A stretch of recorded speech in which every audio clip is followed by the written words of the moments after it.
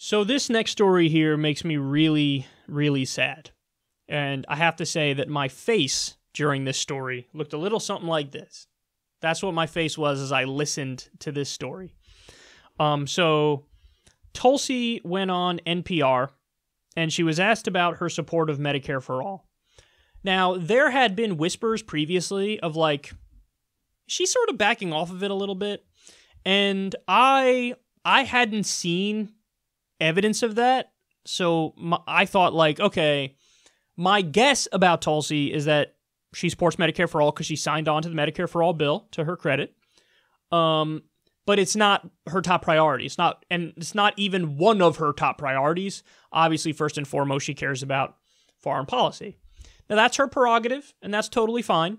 But I was still under the default assumption that, like, okay, she, but she believes in it, right? She believes in it. Well, these comments uh, kind of show otherwise. When you say healthcare, are you for Medicare for all? If you can just tick through the list more specifically. Uh, yes, I support, I prefer to call it Medicare choice, where we are ensuring quality, health care for all people, regardless of, of how little they may have in their pocket or they, their bank account, while ma- maintaining their freedom of choice. If they've mm. got a, a an employer sponsored plan or a union sponsored plan that they're happy with, they should have the opportunity to do so. But the bottom line being that in the wealthiest nation in the world, there is no excuse that we still have far too many Americans who are underinsured or uninsured and who are one healthcare emergency away from total financial disaster. Yeah. So she said she supports, quote, Medicare choice. And she goes on to say if you like your employer sponsored plan or your union sponsored plan, you can keep it. So let me explain why this is not okay. The heart of Medicare for All is a provision about what's called duplicative insurance. And basically, what that says is a private insurance company cannot offer insurance that Medicare for All, the single payer, already offers. Now, there are a variety of reasons for that, um, but probably the most important one is under a single payer system, you have a single payer, and so everybody pays into this single payer, the government, which is the only insurer, and you spread out the risk pool. And also, if you have a system like she's describing, you still have for profit health insurance companies playing a major role in our healthcare system. And what'll likely happen under this kind of system, which is a public option type system, is you have the for profit health insurance companies basically try to take in only the healthy people, okay, so they can price gouge and still make tremendous profit. And they take all the sick people and they pawn only the sick people off to the government plan.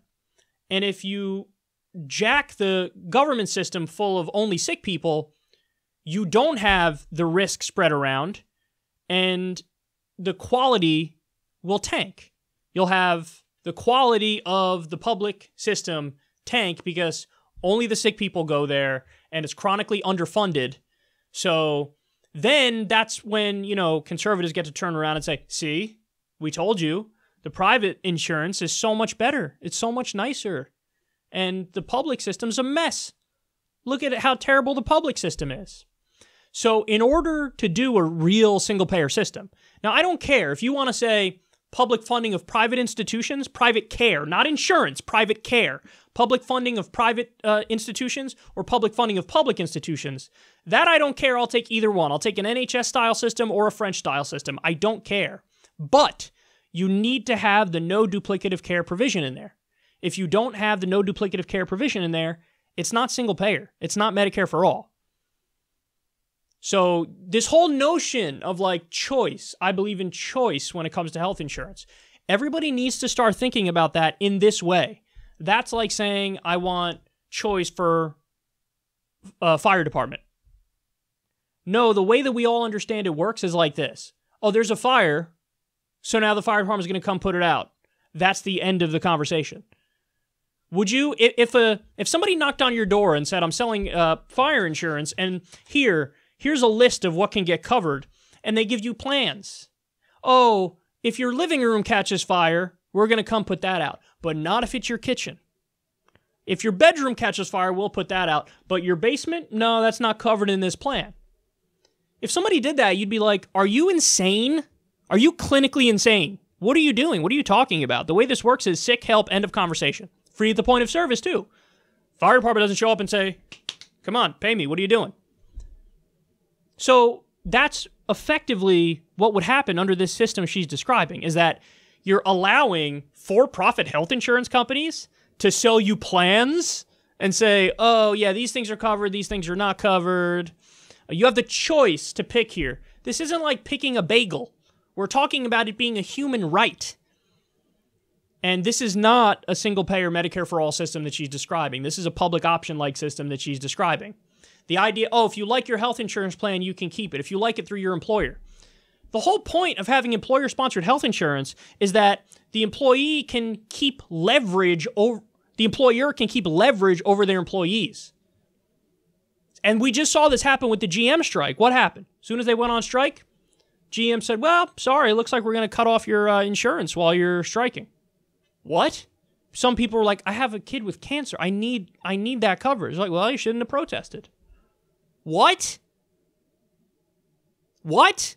So this is the kind of system that would exist if what she's describing was implemented. Oh, if you like your employer sponsored health insurance, I mean, under Medicare for All, everything is covered and it's free at the point of service, full stop. Now, if she was just arguing for supplemental insurance, I'd have no problem with that. And I'd be defending her right now. Because what is supplemental? Supplemental means those little tiny things around the edges that are sometimes experimental treatment that aren't covered. So, you know, whatever, if there's like homeopathy or something, which there's no evidence for, but some people swear by, if that's not going to be covered under Medicare for all, because it's there's no evidence for it, it makes no sense. But if you want to get some sort of plan that covers, you know, homeopathy, you want to get some sort of plan that covers cosmetic plastic surgeries, okay. Can insurance companies exist to deal with that? I have no problem with that. But again, that's supplemental. That doesn't violate the duplicative care provision. What she's describing violates the duplicative care provision. And what would happen is, yet again, explain this as simply as possible. You have um, the risk is not all in one pool, and private health insurance companies would try to keep only the healthy ones. They pawn off all the, the sickly ones or the ones who are likely to get sick to the government system. The government system is overburdened and not fully funded. The quality tanks. And then everybody turns around and goes, see, private care is obviously better.